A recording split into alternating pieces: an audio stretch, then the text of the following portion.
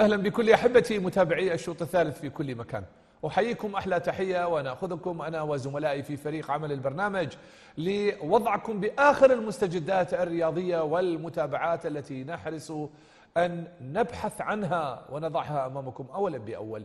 بإمكان جميع مشاهدينا الأحبة متابعة الحلقة الآن عبر صفحة التواصل الاجتماعي فيسبوك والصفحة الخاصة بتلفزيون الشرقية وعلى الهواء مباشرة. جولة الشوط الثالث فيها الكثير من المتابعات والأخبار الرياضية نبدأها من أهم العناوين. اتحاد الكرة العراقي يتلقى منحة مالية من مجلس الوزراء تقدر بملياري دينار لتغطية أجور حكام الدوري وإطفاء جميع الديون المترتبة على الاتحاد.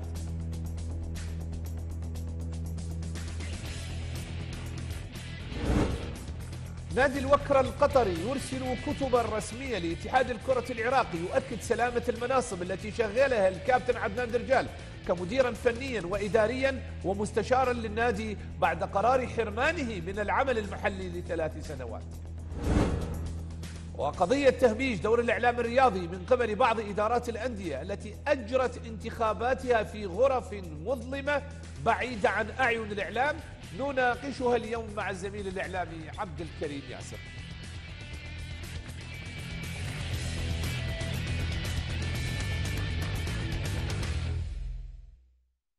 إلى تفاصيل حلقة هذا اليوم ونبدأ من المنحة المالية التي تلقاها اتحاد الكرة العراقي من مجلس الوزراء تقدر بملياري دينار عراقي.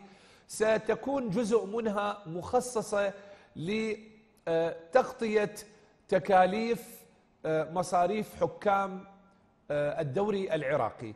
والمبالغ المتبقية ستكون لإطفاء المبالغ المتراكمة على اتحاد الكرة العراقي. بيان لاتحاد الكرة تلقى الشوط الثالث نسخة منه أكد فيه أنه تلقى منحة مالية بملياري دينار من مجلس الوزراء لتغطية أجور الحكام وإطفاء الديون المترتبة على الاتحاد. وتم إيداع مبلغ مليار دينار عراقي في حساب الاتحاد لدى اللجنة الأولمبية من أصل مبلغ إجمالي يقدر بملياري دينار مبينا أن ذلك جاء إثر الاجتماع الذي عقده الاتحاد برئيس الوزراء حيدر العبادي خلال الفترة الماضية. وأضاف أن المبلغ سيتم تخصيصه وحسب تصريحات اتحادية لتغطية أجور الحكام البالغة 530 مليون دينار عراقي فضلا عن تسديد ديون الاتحاد المرتبطة بشركة المرجان للسفر والسياحة. وشركة جاكو للتجهيزات الرياضية ناهيك عن الديون الخاصة بسكن عدد من أعضاء الاتحاد والوفود الكروية. وأشار المصدر للشوط الثالث. أن مبلغ الملياري غير مرتبط بالمنحة المالية لاستقطاب مدرب أجنبي. أكيد أزمة الحكام عندما تحل ربما سيتنفس السعداء لأنه كنا قلقين على موضوع الدوري اللي وصل إلى مشارف الختام واللي راح نتحدث عن نتائجه وقرب فريق الزوراء بحصوله على اللقب. الحقيقة هذه المبالغ اللي تم استلامها من قبل الاتحاد ستحل الكثير الكثير من المشاكل المالية لكن علينا أن نتصرف بهذه المبالغ المتبقية وفق تخطيط سليم ونهج. حتى على الأقل نقدر نجني ثمار الأموال اللي إحنا دا نقدر نستحصلها في أزمة مالية وظرف صعب. لأن الكل يعرف أن الاتحاد أمامه مهام كثيرة. عندنا الأولمبي عندنا الوطني منتخب الشباب الناشئين الصالات أمور كثيرة يحتاجها الاتحاد ويحتاج مبالغ أيضا المدرب المحترف المدرب الأوروبي الأجنبي اللي وعدنا اتحاد الكرة بالتعاقد معه راح يكون قريبا أيضا معنا في العراق بإذن الله اللي نتمنى فيه النجاح والإبداع لمنتخبنا الوطني كذلك للأولمبي. أيضا مشاهدينا الكرام فريق الزوراء حقق فوزا في غاية الأهمية على فريق أمانة بغداد في الدور 37 من منافسات دوري الكرة العراقي وبالتالي اقترب كثيرا بل ولامس درع الدوري بعد أن أصبح قاب قوسين أو أدنى من الحصول على لقب بطولة الدوري. هدف النوارز جاء عن طريق المحترف السوري حسين الجويد من ضربة جزاء في الدقيقة 53 وأصبح للزوراء بحاجة لنقطة واحدة للتتويج بلقب الدوري الممتاز للمرة الرابعة عشرة في تاريخه. ولحساب الجولة ذاتها اكتسحت جوية ضيفه الحسين بخماسية نظيفة ليؤكد بتشبثه ببصيص أمل لتمسكه بوصافة الترتيب. في باقي المباريات تغلب النفط على مضيفه نفط الوسط بثلاثة أهداف نظيفة. وبذات النتيجة تغلب نفط ميسان على الميناء فيما خيم التعادل السلبي مباراة فريقي الكهرباء والحدود. ونجح الديوانية من اقتناص نقطة ثمينة بعدما حول تأخره بهدفين أمام مضيفه البحري إلى تعادل بهدفين لمثله. واستطاع زاخو من التغلب على كربلاء بهدفين دون رد واللي شهدت انسحاب كربلاء من المباراة أثناء الشوط الثاني. فريق الزوراء أصبح رصيده 87 نقطة مبتعدا بست نقاط عن ملاحقه القوة الجوية اللي يمتلك 81 بينما المركز الثالث آه، يتنافس عليه صاحب المركز الرابع النفط والشرطة اللي يحاول أن يحصل على المركز الثالث. آه، مبروك لفريق الزوراء اللي أصبح قاب قوسين وأدنى من الحصول على لقب بطولة الدوري للمرة الرابعة عشرة في تاريخه. آه، مبروك لجمهور النوارس لإدارة الزوراء للكابتن فلاح حسن للقدير أيوب أديشو إلى اللاعبين. آه، نبارك هذه الجهود. موسم صعب جدا. أنتم الآن على بعد أقل من خطوة للحصول على لقب الدوري رسميا حيث طالبت إدارة الزوراء اتحاد الكرة أن تكون مباراة الأخيرة أمام نفط ميسان في ملعب الشعب. لأنه هذه المباراة راح يتم بها تتويج وبالتالي آه، ننتظر رد آه، اتحاد الكرة حول هذا الموضوع. أيضا مشاهدينا الأحبة آه، إدارة نادي الوكرة القطري والكابتن عدنان درجال أرسل كتبا رسمية إلى اتحاد الكرة ردا على العقوبات التي أصدرت بحق النجم الدولي السابق عدنان درجال بعد مخالفته ضوابط الترشح لانتخابات اتحاد الكرة. نادي الوكرة أكد في هذه الكتب اللي راح ننفرد بعرضها لحضراتكم بأنه عدنان درجال فعلا شغل منصب المدير الفني والمستشار في آه، الكرة. قبل أن أذهب إلى عدنان درجال الحقيقة أذهب إلى تصريحات آه، اتحاد الكرة. آه، لأنه إحنا عبرنا تصريحات اتحاد الكرة وأذهب إلى عدنان درجال. اتحاد الكرة على لسان فالح موسى وعلى لسان آه، كريم فرحان أكدوا وكشفوا عن البرنامج الإعدادي لمنتخبنا العراق الأولمبي اللي راح يمثلنا في منافسات كرة القدم ببطولة دورة الألعاب الآسيوية جاكرتا في أندونيسيا. نتابع ما تفضل به لعدسة الشوط الثالث. يعني وهذا موضوع ما تقدر تجزم به بصراحة لأنه أنت تتعامل وفق وثائق رسمية. واللاعبين اليوم اللي متواجدين في المنتخب الأولمبي بالتأكيد أنه سبقا مثلوا منتخبات الأشبال والناشئين والشباب. بالتالي لو وصلوا إلى هذه المرحلة يعني أنت في كل البطولات اللي شاركوا بها ما صار عليهم فد مؤشر من قبل سواء كان اللجنة المنظمة أو أي شخص آخر ممكن إنه يكون يعني عنده شك في هذه الأعمال. وبالرغم من هذا يعني الاتحاد من خلال وسائل الإعلام يعني صرح بأكثر من مناسبة بأنه يتعامل مع المعلومة بشكل دقيق وحسب مصادرها الرسمية وأي واحد عنده ممكن إنه معلومات عن أي لاعب من اللاعبين. ممكن إنه هذا يعني يكون مخالف للتعليمات ممكن إنه يكون يعني خارج هذا المنتخب. اليوم المشكلة الأساسية أعتقد بالمنتخب الأولمبي، اليوم أكو تعليمات ضمن البطوله الآسيوية تسمح للاعبي المنتخب الأولمبي من مواليد 95 أساسا يشتركون إضافة إلى ثلاث لاعبين خارج التولد، لذلك اليوم إحنا أكو اعتراض مثلا إنه ليش أكو لاعبين سبقا مثلوا المنتخبات الوطنية من فترة طويلة اليوم متواجدين. عندنا استعداد ومعسكر تدريبي في إربيل آه، يتخلل مباراتين وديه أمام المنتخب الإيراني يوم 25 و 28 7 بعدها آه، نذهب إلى البطولة.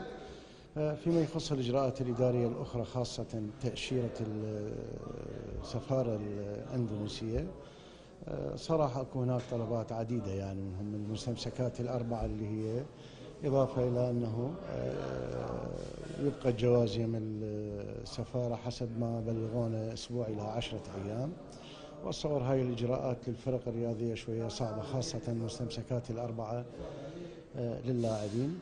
آه، نتمنى تكون هناك تسهيلات أكثر لأن هذه الفرق الرياضية يعني الجواز هو الأساس. يعني معظم الدول اللي نروح لها في البطولات فقط جواز السفر ونبات نبعث نسخ الجوازات تجينا التأشيرات مباشرة. هنا لا لازم إحنا نراجع في بغداد. كل الموفقين لمنتخبنا الأولمبي في منافسات دورة الألعاب الآسيوية. نذكركم بإذن الله تعالى بأننا سنكون فريق عمل الشوط الثالث آه، داخل منافسات المعترك الآسيوي. وراح نقوم ببث حلقات يومية من قلب الحدث بإذن الله تعالى. نتمنى لكم آه، وبعثتنا الموفقية والنجاح.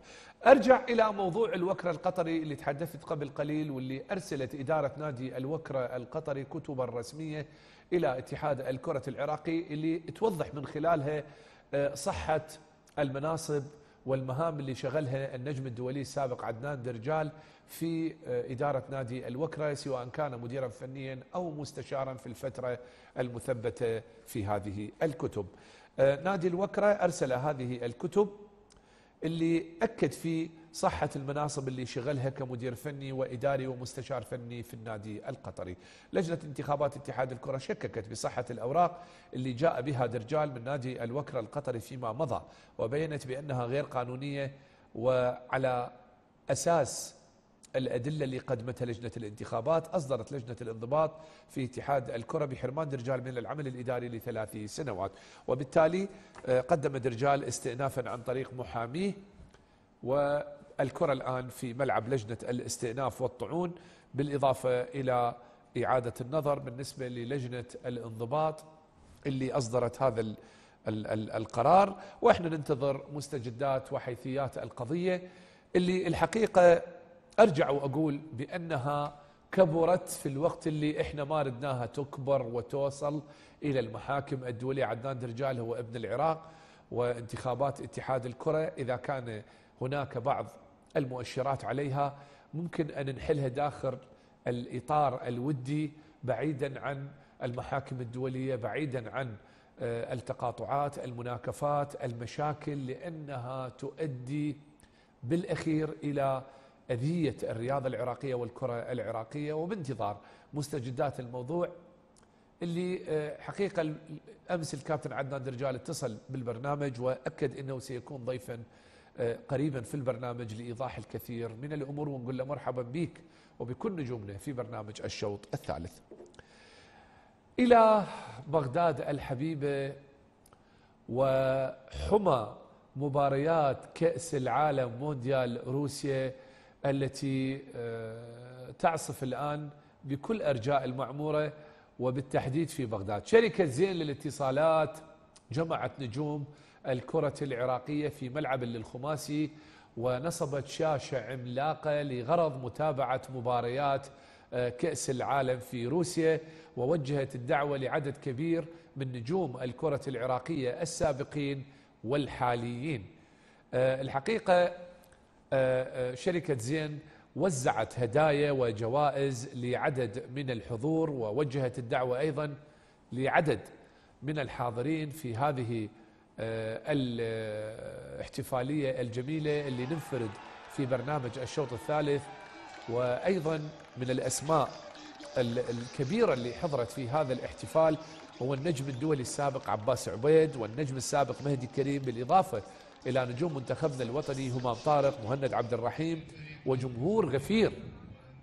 حضر في هذه الاحتفالية اللي آه، الحقيقة هي تعد مبادرة آه، جميلة من شركة زين لمواكبة الحدث وهذه اللقطات اللي تم من خلالها توزيع الجوائز على الحاضرين والهدايا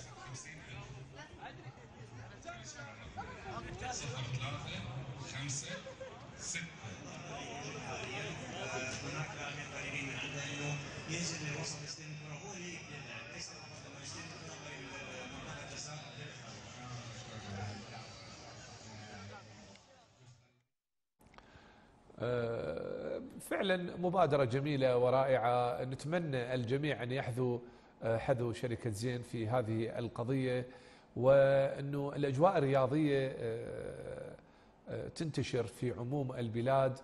رغم أنه إحنا نعاني ما نعاني وكان الله في العون أمور كثيرة البلاد تعاني منها لكن هذه المباريات وهذه المبادرات ربما تخفف نوعا ما من حمى المشاكل اللي نعاني منها. آه، أكيد مباراة كأس العالم الكل يتابعها حتى والعراق بنص المشاكل والهموم وكهرباء ماكو ودرجات حرارة ومشاكل وكان الله في عوننا لكن كأس العالم حاضرة دائما في قلوب العراقيين المحبين لكرة القدم. أيضا من ضمن متابعاتنا واستجابة لما طرح في برنامج الشوط الثالث عبر الشرقية نيوز واللي تحدثنا عن مناشدات نادي عمال نينوى إلى الجهات صاحبة العلاقة بإعادة إعمار قاعة الشهيد أمجد نوري للألعاب الرياضية في نينوى. وصل وفد حكومي إلى محافظة نينوى للاطلاع على حجم الدمار الذي لحق بالمنشآت الرياضية لنادي عمال نينوى خصوصا ومحافظة نينوى عموما وبالتحديد إلى قاعة الشهيد أمجد نوري للألعاب الرياضية اللي تعرضت إلى دمار شامل آه، آبان آه، احتلال داعش لهذه المدينة. آه، زميلنا محمود السليفاني وعدسة الشوط الثالث كانت حاضرة في تجوال الوفد الحكومي اللي يمثل عدة جهات من ضمنها وزارة الشباب ودائرة التربية البدنية في محافظة نينوى من أجل تقديم عمل الهيئات الإدارية لأندية المحافظات. وهذه الزيارة هي أولى إلى مبنى نادي عمال نينوى وفتاة نينوى وقاعة الشهيد أمجد نوري بالرغم من تدمير القاعات والملاعب الرياضية إلا أن الوفد الحكومي أبدى ارتياحه بعمل إدارات آه، الناديين. كذلك آه، أشادوا بتواجد عدسة الشوط الثالث مع تلك الزيارات. هذه اللقطات اللي تشاهدوها بعدسة زميلنا محمود الستيفاني وأيضا يرافقهم رئيس آه، نادي عمال نينوى اللي الحقيقة نتمنى نتمنى فعلا أن تكون هناك خطوات فعالة لإنقاذ واقع حال الرياضة في نينوى وواقع حال المنشآت الرياضية. المتعرضة إلى دمار شامل وخصوصا قاعد أمجد نوري المهدمة آه، اللي نتمنى أن تعود شامخة كما كانت بإذن الله تعالى. أيضا آه، من ضمن المتابعات اللي نضعها أمامكم مشرف كرة صالات فريق الجوية كامل درباش. فتح النار على لجنة الصالات في اتحاد الكرة بعد إسدال الستار على منافسات الدوري الممتاز بحصول نادي نفط الوسط على لقب البطولة.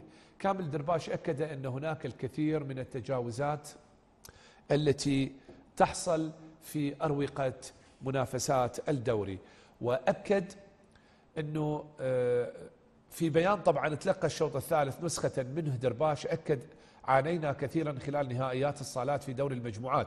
اتخذنا من كربلاء مقرا لوفد الفريق ونخوض المباريات في بابل وفي الدور نصف النهائي لعبنا في السماء وفي قاعة لا ترتقي لخوض مرحلة النهائيات فالقاعة غير مكيفة ومغلقة والأرضية تم طلاها بصبغ بنتلايت. قبل انطلاق النهائيات بيوم واحد وحالة اللاعبين في المباريات كان يرثى لها حيث تعرضوا إلى حالات اختناق بسبب ارتفاع درجات الحرارة. وأوضح رغم ملاحظاتنا على التخبطات كانت هناك محسوبيات لبعض الفرق على حساب أخرى. لجنة الصالات لم تؤدي عملها على أكمل وجه والفوضى كانت تحكم اللجنة والمحسوبيات طغت على بعض الأندية من خلال المحاباة والمجاملات. ودعا درباش لإقامة دوري عام خلال الموسم المقبل وإقامة المباراة في العاصمة بغداد في قاعات نظامية ومكيفة. واستغرب مشرف الجوية من دفع الأندية مبلغ سبعة ملايين دينار. خلال مرحلة المجموعات ومليون وخمسمائة ألف دينار خلال التصفيات ما قبل النهاية إضافة إلى مليون دينار للأدوار النهائية للجنة المنظمة والحكام. ناهيك عن كل هذا التحكيم كان سيئا جدا وظلم فريقنا الجوي رغم ذلك نحن فخورون بفريقنا. حقيقة هذا الكلام نتمنى أن يصل إلى مسامع لجنة الصالات والسيد يحيى صغير لأن هو رئيس لجنة الصالات. هذا الموضوع اللي تحدثنا عنه موضوع أرجو الإجابة من السيد رئيس لجنة الصالات. لكن في الوقت ذاته يا أخي كامل درباش ليش إحنا عندنا قاعات نظامية نقدر نلعب عليها؟ ما أنتم القوة الجوية أهل الميزانية الانفجارية سويتوا لكم قاعة رياضية حتى نقدر نتباهى بها وحتى نقدر نقول إي والله أكو قاعة رياضية خلينا نلعب عليها.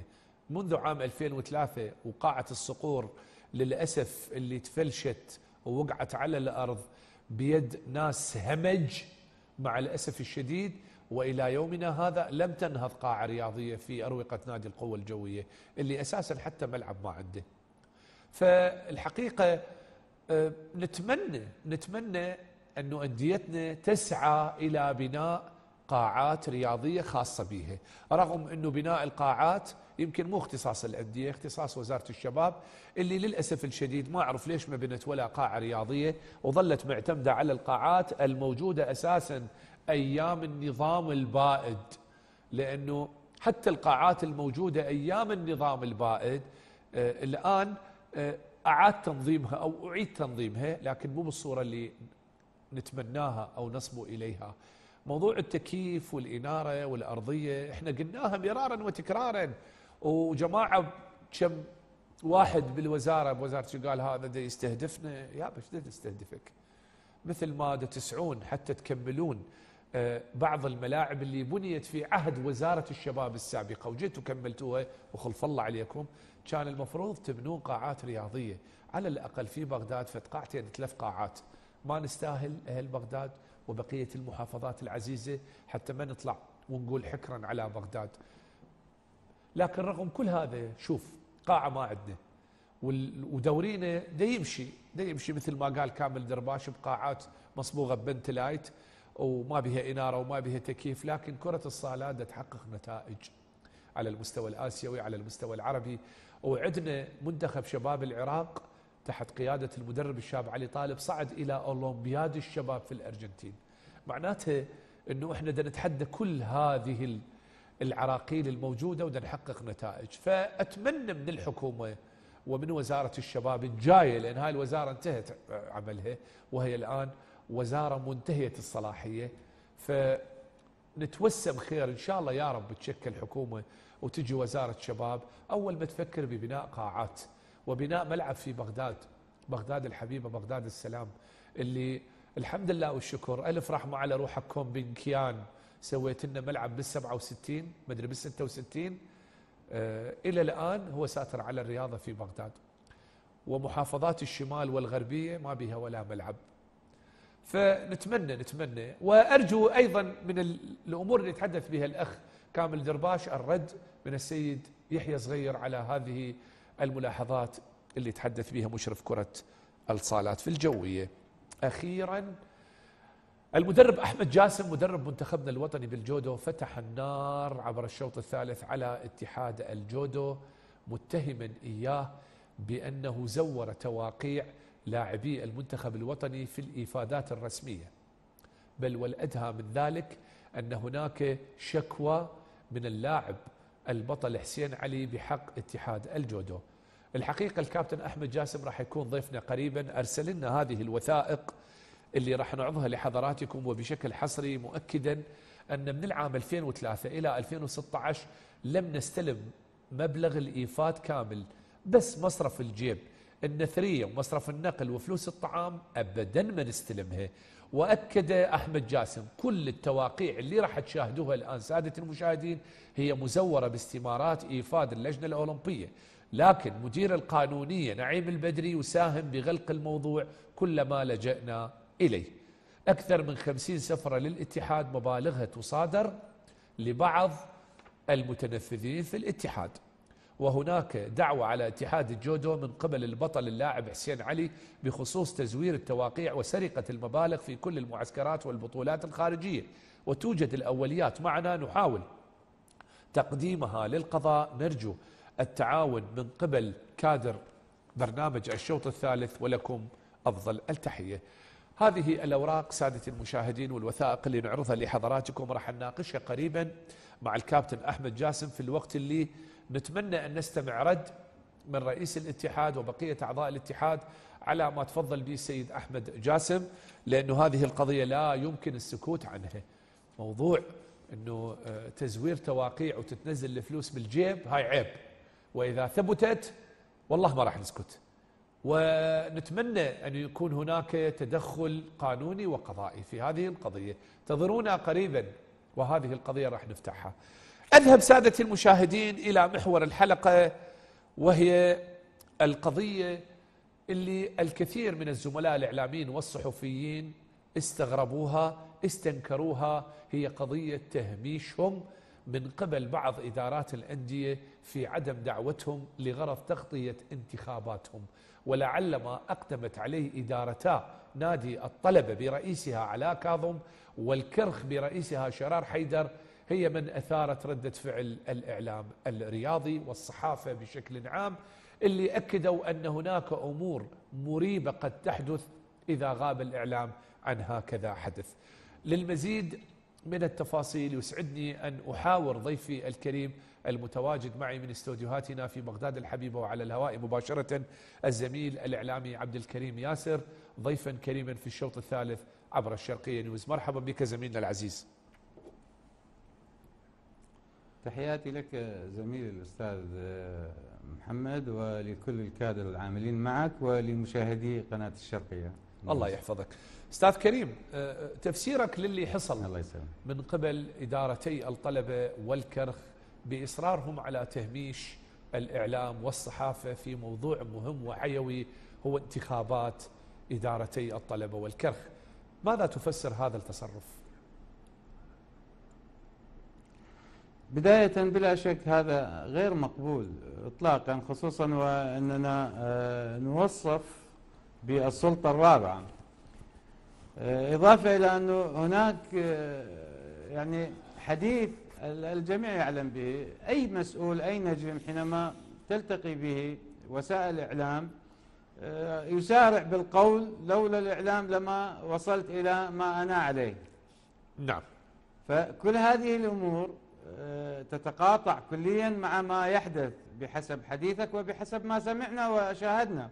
أن هناك تهميش فعلا هناك تهميش.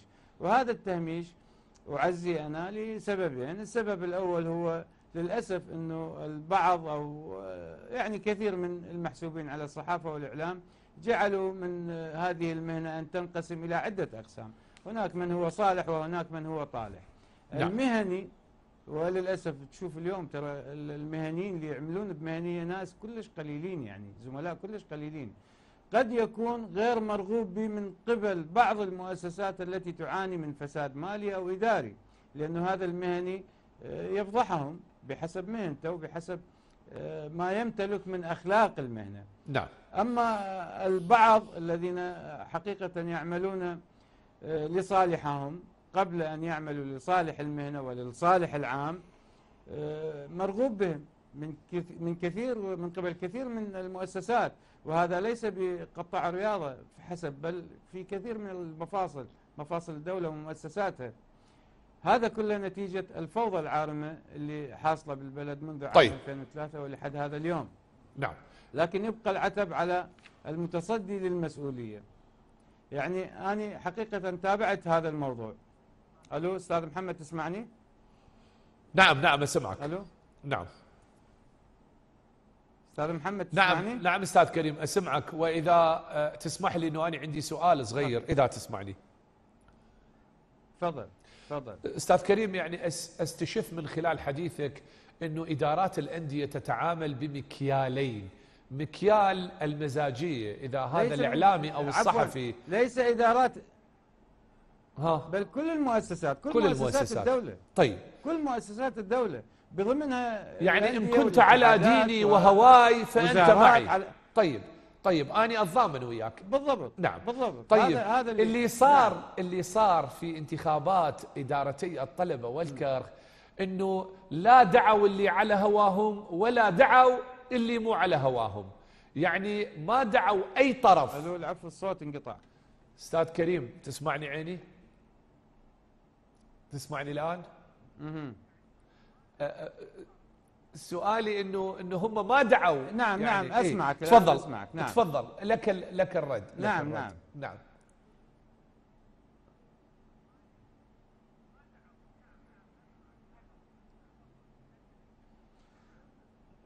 حقيقة أنا آه، شخصيا تابعت موضوع آه، نادي الكرخ لأني نعم. إذا أردت أن أعتب على جهة على حساب جهة أخرى أعتب على نادي الكرخ قبل ما أعتب على إدارة نادي الطلبة. باعتبار رئيس الهيئة الإدارية لنادي الكرخ هو زميل لنا في الإعلام كونه خريج إعلام نعم. على الرغم من أنه هو نجم من نجوم كرة القدم. نعم. آه، لكن هناك بعض المبررات منها قد تكون منطقية يعني.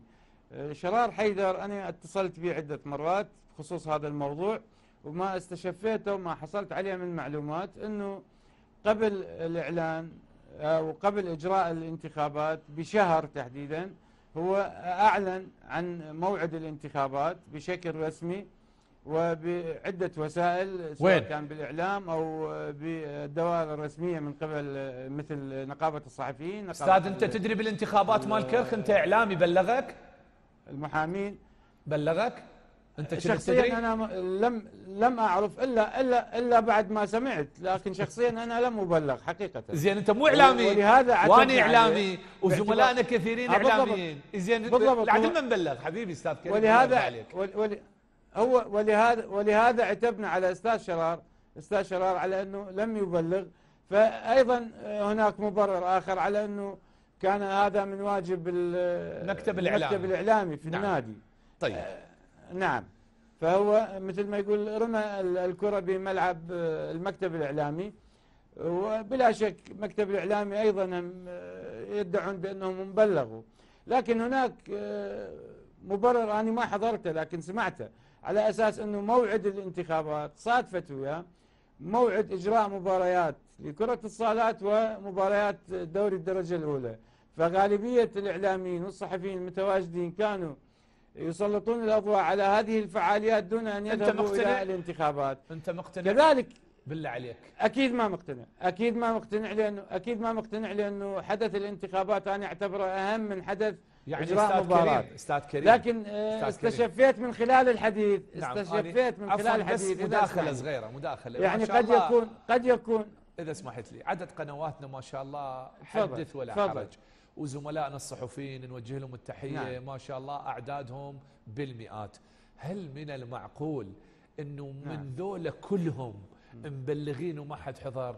يا صديقي الجميل ولا كاميرا تلفزيونية كانت موجودة بانتخابات الطلبة والكرخ ولا زميل صحفي وإعلامي كان موجود في انتخابات الطلبة والكرخ. يا أخي العزيز هذا استخفاف استخفاف بالإعلام. ليش بال بال بال بال بخيرهم ما خيرونه بالمناسبة. يعني هاي هذا المثل خلي أقول لك إياه. طيب. بخيرهم ما خيرونه بشرهم عموا علينا مو هذا هذا هذا دفاع عن منظومة طيب، عمل. أكو- نعم أكو تفضل. مفارقة. تفضل. طيب أكو مفارقة. أنا أنا إذا تسمح لي أنا راح أوجه لك سؤال تفضل. بخصوص هذه المفارقة. تفضل. آه، أنا ما ما أعرف بأنه منه حضر ما حضر لكن اللي عرفته أنه رئيس اتحاد الصحافة الرياضية في العراق كان حاضرا. نعم. وبعد انتهاء هذه الانتخابات في صباح اليوم التالي كانت له افتتاحية ومقالة يشيد بهذه الانتخابات. فهنا أنا أنا وأنت وكل ال- والله أنا هم استغرب. الزميل خالد جاسم أيضا هم كان حاضر. فعلا. طيب. يعني هو ما بلغنا أصلا يعني طيب علما نوجه عتبنا على من؟ على من؟ على من نوجه عتبنا؟ على نعم. الهيئة الإدارية لنادي الكرخ أم على من يقودنا في الصحافة الرياضية؟ مع الأسف. حقيقة يعني هناك خلط بالأوراق.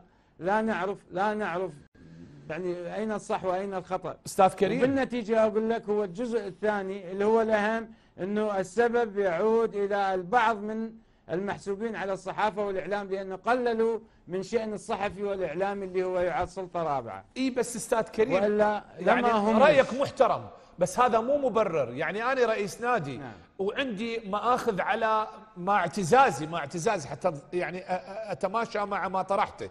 عندي ملاحظات على كذا زميل أنا ما مقتنع به أني آخذ نظرة على كل الإعلاميين والزملاء ما بيهم أساتذة كبار ما بيهم آه نوجه لهم أكيد والاعتزاز. بيهم ناس مهنيين بيهم ناس عموما عموما هو أكو بعض أكيد. الأمور حصلت ويسعدني إنه هو اسمع رايك هو يعني اذا أستاذ كريم إذا تسمح لي اذا إذا تسمح لي اني اني أني وياك بهذا الطرح الأخير نعم. خصوصا وإني على علم بأنه الكابتن شرار حيدر قبل إجراء انتخابته انتخاباتهم أعتقد بيوم أو بيومين كان ضيفك هو بهذا البرنامج. لا حكى ولا كان والله. إنه- وأنت تدري خو تابعت البرنامج. أنا تفاجئت حقيقة آه، أنا وكثير من زملائي.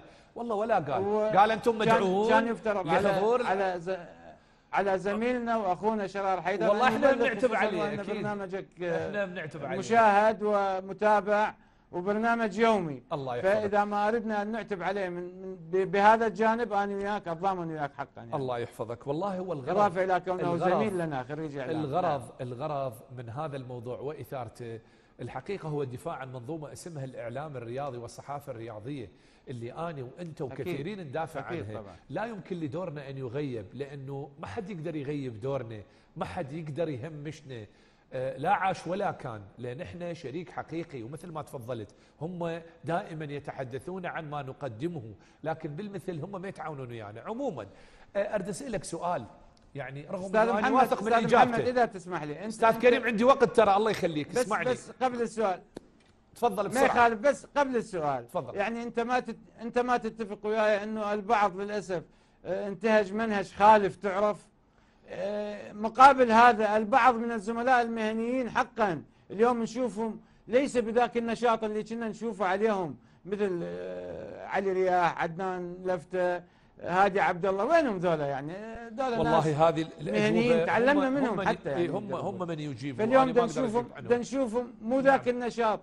بالمقابل بالمقابل نشوف البعض من انتهج منهج خالف تعرف. اليوم أشوفه هو المرغوب به أكثر. اذا المؤسسة والزميل المحسوب عليه على على المهنة الكل مشارك بهذا هذه الفوضى طيب. العارمة طيب. الموجوده أ- بالبلد يعني بعض الأمور اللي أني الحقيقة أ- أ- أتمنى أستمع إجابتها من حضرتك يعني انتخابات الطلبة والكرخ شهدت الكثير الكثير من الأمور اللي سمعنا عنها واللي شفناها من خلال الصور الفوتوغرافية اللي نشرت وخلف الله على الفيسبوك اللي خلانا نشوف الانتخابات والحاضرين.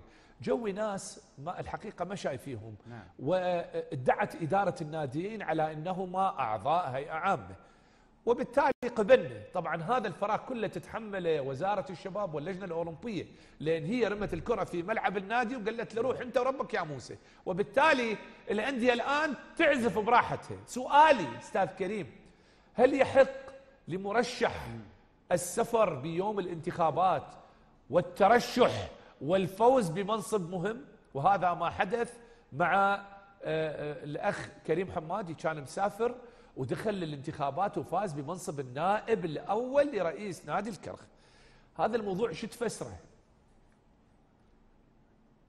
والله أستاذ محمد أنا تابعت هذا الموضوع حقيقة. لأنه أنا آه، بحسب معرفتي أنا رجل مو قانوني يعني. لكن متابع ال- المشهد الانتخابي بكل مفاصله هنا وهناك.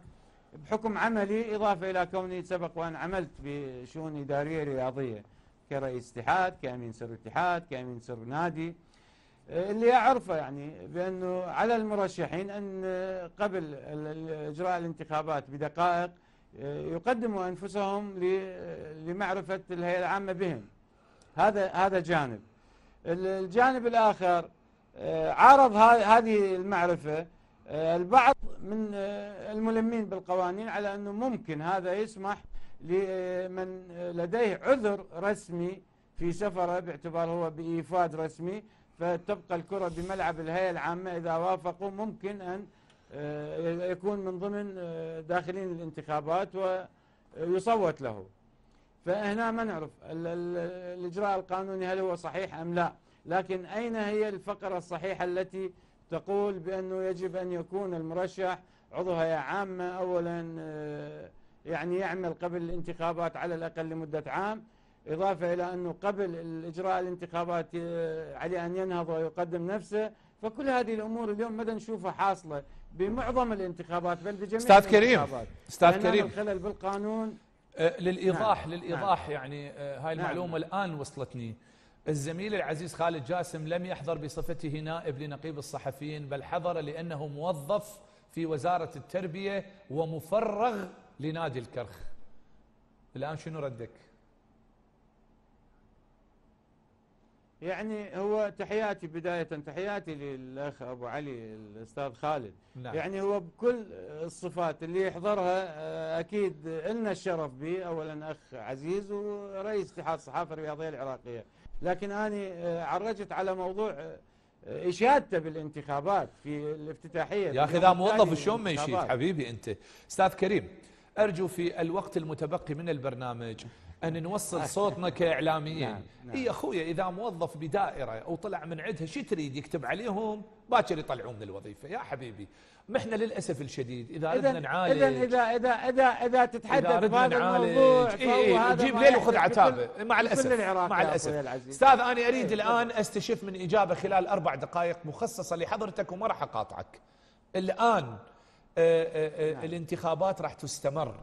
وإذا تكرر المشهد يعني كيف سنتصرف نحن الإعلام والزملاء الصحافة الرياضية إذا ما إذا لا قدر الله كررت بعض إدارات الأندية ما فعلته إدارتي الطلبة والكرخ. تفضل. يعني مو إحنا وإنما الناس المسؤولة علينا مثل نقابة الصحفيين أو اتحاد الصحافة الرياضية يجب أن يكون لهم موقف مساند للصحفي والإعلامي. أزاء هكذا تصرفات وهكذا تهميش لأنه الصحفي آه، له مرجع وله آه، يعني آه، مثل ما يقول يعني تبعية صح فأني تبعيتي ومرجعي اللي هي نقابة الصحفيين العراقيين إضافة إلى اتحاد الصحافة الرياضية العراقية. أنا هسه أنا وياك مهما حكينا إذا ما يساندونا الأخ خالد جاسم رئيس اتحاد الصحافة والزملاء اللي عاملين وياه بهيئه اتحاد الصحافة وكذلك آه، الأخ آه، مؤيد اللامي نقيب الصحفيين والزملاء العاملين في بمجلس النقابة. إذا ما يساندونا باعتبار إحنا أصحاب حق ولا يجوز تهميشنا أعتقد هاي الحالة تستمر إلى ما لا نهاية باعتبار العراق برمته يعيش في فوضى عارمة ونحن أسوة بال- بالذين همشوا كثير من العراقيين اليوم مهمشين. نعم. يعني على على جميع المستويات وعلى جميع الأصعدة. فليس ببعيد أن الصحفي أو الإعلامي يهمش. لكن نأمل نأمل من إخواننا وزملائنا وأساتذتنا المتصدين للمسؤولية أن يكونوا آه، يعني آه، خير مساند لنا كوننا على حق ولا نقبل أن نهمش لأننا آه، لا نمثل أنفسنا. إضافة إلى أنه عملنا يصب بمصلحة العراق ومصلحة كل مؤسساتنا العراقية سواء كانت رياضية أو غير رياضية. طيب. هذا جانب والجانب الآخر أنه إحنا سلطة سلطة رابعة. أستاذ كريم. يعني على الوزير على الوزير مو رئيس نادي مع جل احترامي إلى رؤساء الأندية ورؤساء الاتحادات.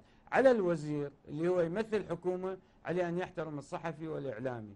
لأنه في كل بلدان العالم الصحافة والإعلام ممكن أن تسقط حكومات وممكن أن تسوي حكومات.